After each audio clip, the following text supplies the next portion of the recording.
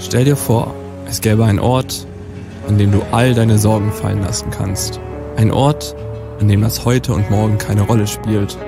Genau an diesen Ort möchte ich dich mitnehmen.